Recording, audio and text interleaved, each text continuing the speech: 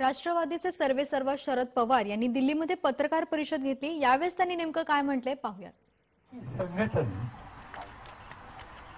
ये सभी लोगों को साथ रखकर देश का कारोबार करने में कुछ न कुछ समस्या पैदा होती है। और इसीलिए देशवासियों को रास्ता दिखाने के लिए जयप्रकाश जी के नेतृत्व पर एक समाजवादी विचारों की एक शक्ति इसी समय देश के सामने आ रही थी। और बाद में कई साल, कई राज्यों में इस विचारों पर श्रद्धा रखने वाले लाखों लोग जगह जगह पर तैयार हुए और देश की भलाई के लिए सार्वजनिक क्षेत्र में उन्होंने काम करने का ज़िम्मेदारी अपने कंधे पर लिया। इसके बाद अलग अलग राज्यों में कई संघर्ष हुए, कई समस्या पैदा हुई।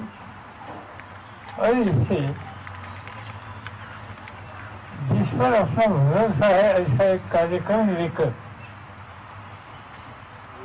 अलग अलग संगठन मज़बूत होने लगे इसमें समाजवादी विचारों पर श्रद्धा रखने वाले देश के सभी राज्यों में कुछ न कुछ नेता, एक आम जनता को, खासतौर पर युवा पीढ़ी को आकर्षित करने का काम कर रही थी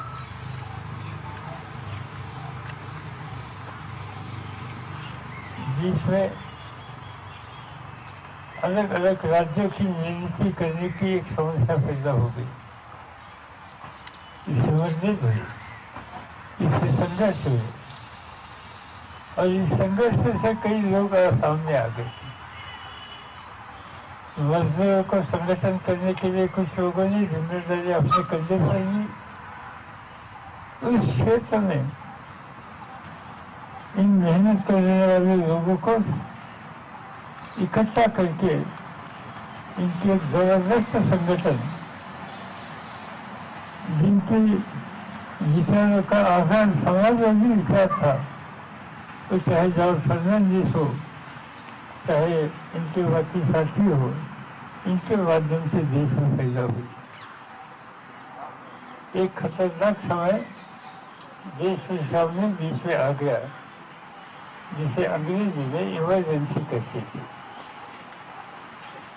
इमरजेंसी में देश के प्रजातंत्र के बारे में भूमिका लेने वाले हज़ारों लोगों को गिरफ़्तार किया गया। और एक अजब स्थिति देश के सामने आ गई। मगर इस देश की आम जनता के मन में, प्रजातंत्र के बारे में बड़ी गहरी श्रद्धा है। और इमरजेंसी के बाद जब लोगों को मौका